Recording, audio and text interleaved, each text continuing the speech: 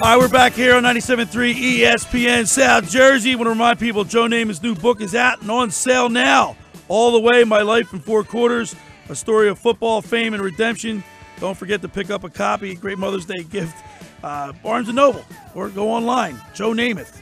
We had him on the show not too long ago in August. It was a great, uh, great interview. But now let's go to another Philly great. He was a part of that 1980 World Series championship team. Let's introduce and go to the sports hotline and welcome into the locker room, Greg Luzinski. What's up, Greg? Pretty good. How you doing? All right, Greg. It's been a it's been a a sad week for Philly Nation, and I know uh, you were very fond of uh, Dave Montgomery. Um, I had a, an opportunity, and this is when I worked back in the day when I worked at the airlines. Uh, I had two, uh, Greg. I had two brushes with uh, sports royalty. I sat next to Al Davis on a plane one time, and I sat next to Dave Montgomery, and I can't tell you the difference between the two, night and day. Dave Montgomery was the nicest guy. I asked him a question. He, he I was no, I'm nobody. He was not. He, he didn't have to talk to me. Was so nice and so gracious, and and answered like I just had him. A, I asked him a couple questions. He was like really he was really nice to talk to. Of course, on the other side of that equation, Al Davis, who you? I don't know who you are. So that's just the kind of guy uh, Dave Montgomery was. Yeah, without question, he's a great guy. Um, you know, you might call him uh, Mr. Baseball because that's what his whole life uh, uh, evolved around. Uh, you know, he was uh, with Phillies in uh, 1971, uh, and you know the amazing part is uh, he he kept score of every game played, whether it was uh, home or away, and he kept he kept uh, uh, in his garage. He's got all all the scorecards and uh, obviously newspapers uh, from every game. So he he was uh, just a collector of baseball and very knowledgeable. I think one of the big things he did, though, uh, besides uh, you know the stadium being the new stadium being built, he had a lot to do with that. The city of Philadelphia, that he got the players uh, involved in uh, charitable organizations uh, throughout uh, uh, the Delaware Valley, to where uh, you know, not only were they on the baseball field, but uh, they they were seen at a lot of charitable events and had their own charities, and so uh, you got a, a mix of players with with with the fans. So uh, it, it it it was a, a big credit to David. Uh, obviously, there's been a lot of accolades thrown his way, and uh, well deserved. And uh, I think on June 6th uh, there'll be a memorial service, uh, a celebration of life at the ballpark at three o'clock uh, for Mr. Montgomery.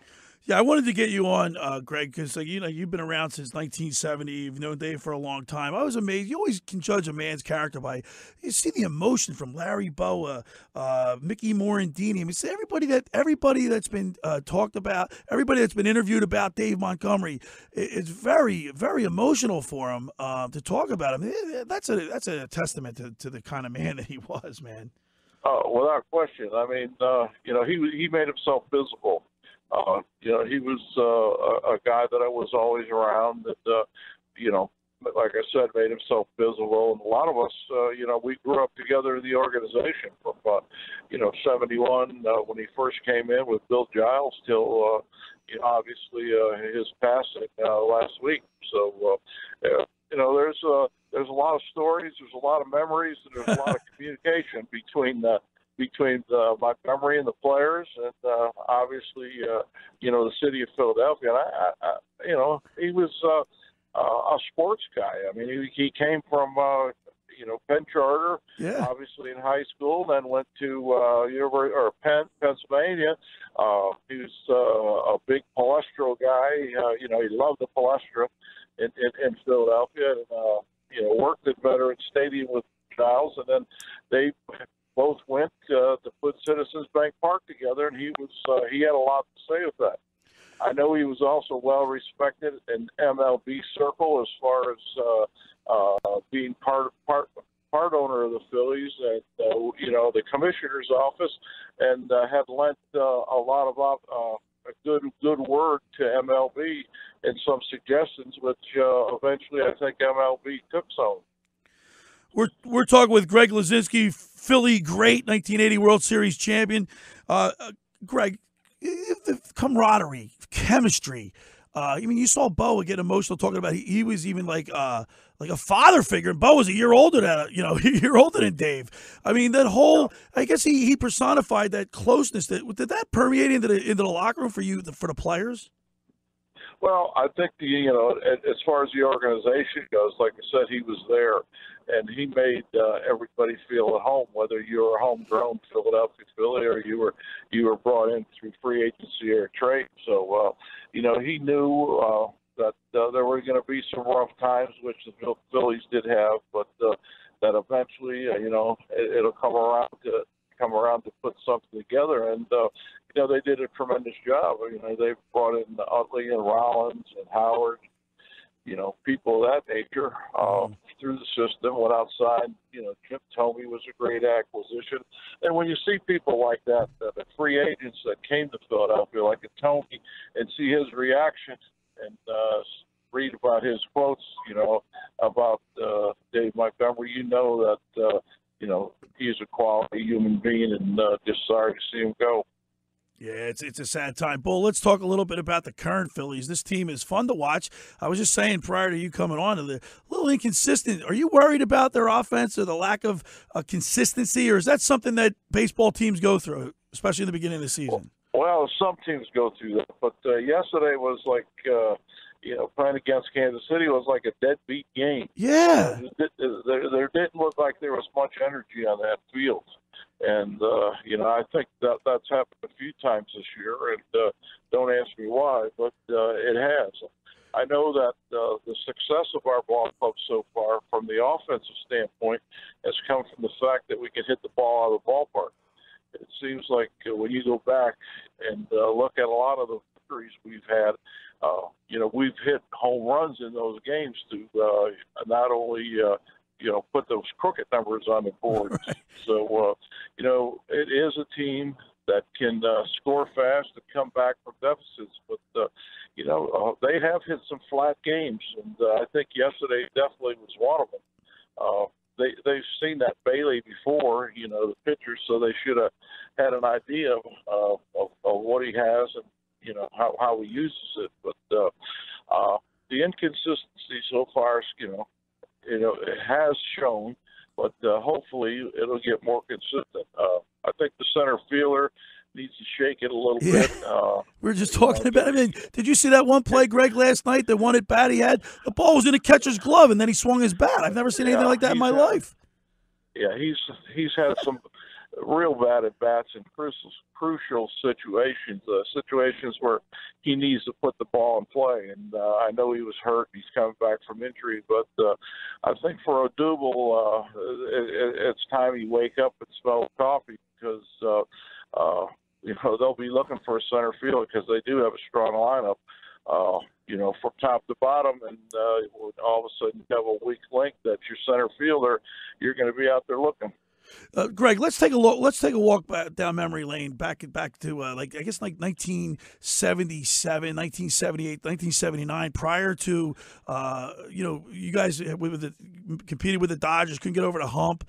Um, what was the chemistry like in that squad before you guys had? Like, was there any anybody, any one leader that stood out, or like it's always been documented that when Pete Rose came in, he kind of woke you guys up.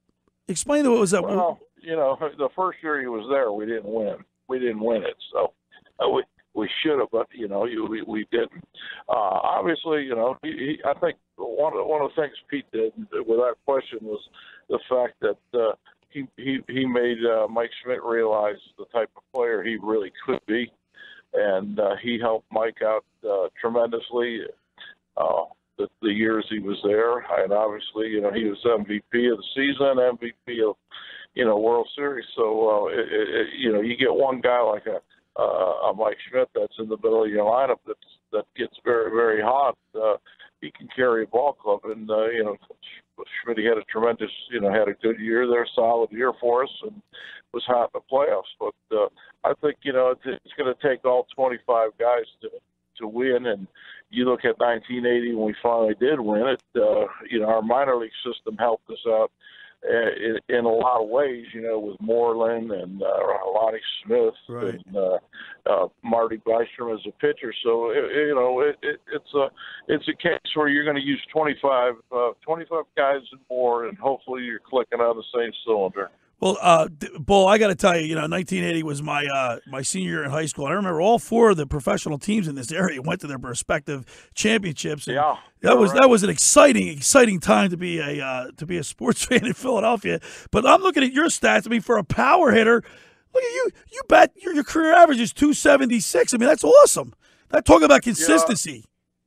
know, I, I, I I would have been a little better at that, except for the fact that, uh, you know, you know, I got hurt a couple of years and uh, had had a had a bad knee, uh, so you know, it it, it, it hurt me to the the fact that I couldn't run as well for a while. But uh, you know, my my objective was uh, obviously to put the ball play, play the game, play play it in the middle of the field, and uh, I took pride in trying to drive that run in. Hey, Bull, one last one last question before we let you go. Uh, did you see a lot of shifts when you played? Uh, no, there were a few shifts, maybe on a Willie Stargell, uh, Willie McCovey shifts of that, you know, like that. But uh, uh, I you don't know, remember. Yeah, because I don't remember you getting shifted on, or even Schmidt. I mean, I don't No. know. Would you you you could you could put the ball in all, all fields? I mean, you weren't a. Would you say you were a pull hitter? No, well, yeah, I think uh, you know sometimes as your career goes on, you try to hit the situation a little bit more. You know, especially late in games where you're trying to drive the ball to the ballpark, and you might try to pull a little bit more. But I think the greatest compliments to hitters is when uh, teams play you straight away. It, it goes to show you that uh, you can spray the ball and you're going to use the field. So, uh, you know that that that's one of the things uh, that you know that I tried to do. Like I said. Uh, that man on second or that man on third when the pitcher's got two outs and they're one pitch away from getting out of the inning, you get that that base hit. You know, it kind of breaks their backs and uh, keeps them out there a little bit longer. Well, I'll tell you what. I want to thank you for the memories that you've given uh, given us over the. I mean, I'll never forget that '80 team. Uh, it was a lot of fun to watch you and your career. And uh, one of my favorite Phillies, of course, you're down at the ballpark most nights. The fans can come up and talk to you at uh, Bulls Barbecue. How's that going? I, Yeah. I was at the game. I, I was at one game this year, but I have a four year old little girl, and all she wanted to do was play at the uh, that playhouse. I couldn't get her over to Bulls Barbecue. I got to come over and say hi.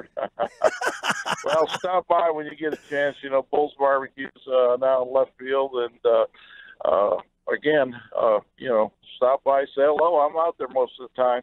All Uh, right. Usually, I you know usually I hang around about the seventh inning, and then uh, you know I head upstairs a couple suites, and then uh, and make my way home after the game. All right, Greg Luzitz. Thank you so much, Greg, to come. Thank And, you. and, and also talking about Dave Montgomery, uh, he'll be sorely missed. Uh, but he gave us a lot. He gave us a lot of a lot of great memories with the Philadelphia Phillies, and uh, thank. I want to thank you for sharing that with us.